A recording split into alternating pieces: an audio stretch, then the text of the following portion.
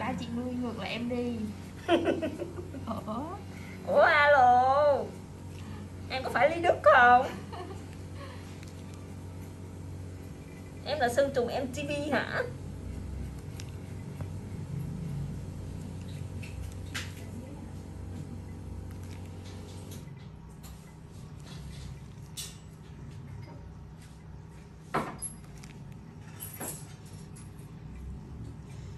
qua qua chắc đợi nữa khoa nào. Về đây.